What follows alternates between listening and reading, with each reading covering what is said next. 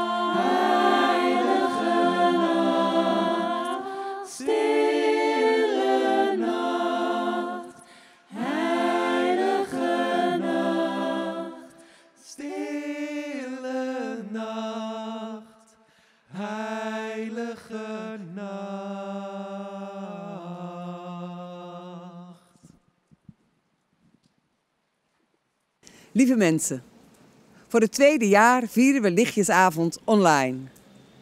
Helaas is het leven niet altijd maakbaar. Want als dat zo was, had ik nu niet in de camera gesproken, maar had ik u hier op de markt voor mij gezien.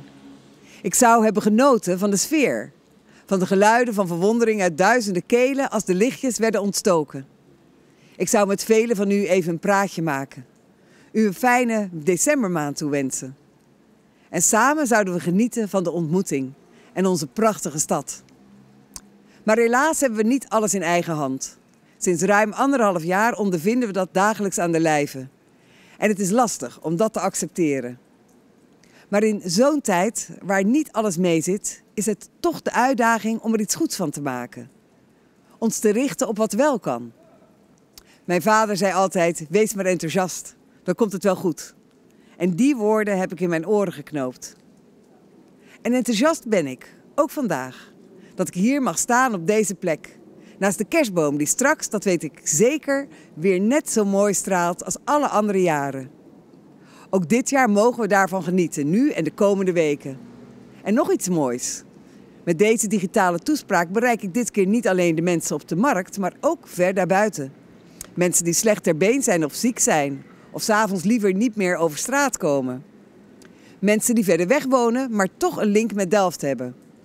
Aan al die mensen wil ik zeggen, wat goed dat u kijkt.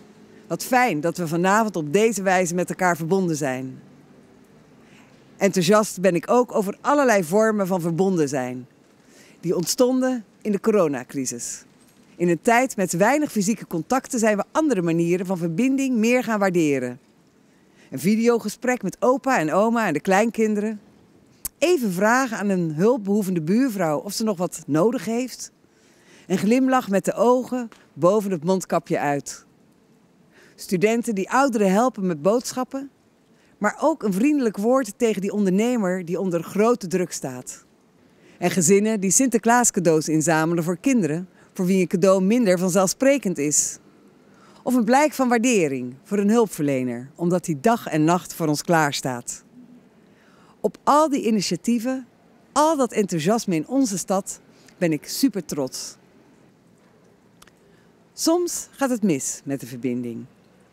Discussies over corona, over het nut van maatregelen of de waarde van vaccineren leiden tot onbegrip, wrijving en soms zelfs tot agressie tegen onze hulpverleners.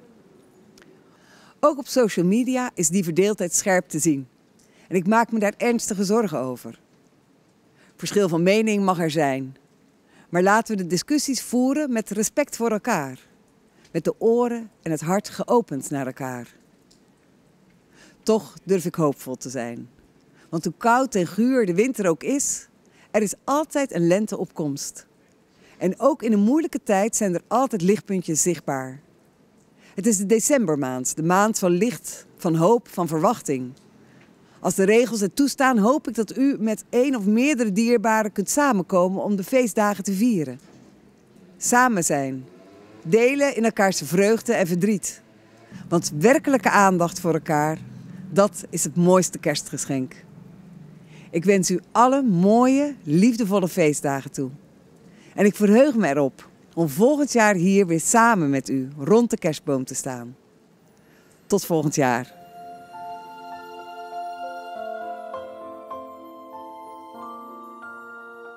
Mijn wens voor de feestdagen is dat we allemaal respect zullen hebben voor elkaar.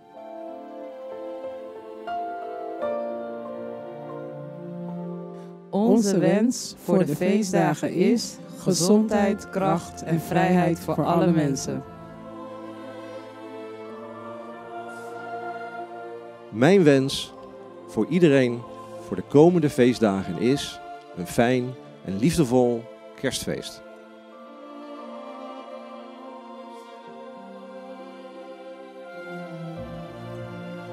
Mijn wens voor de feestdagen is dat niemand alleen is tijdens kerst.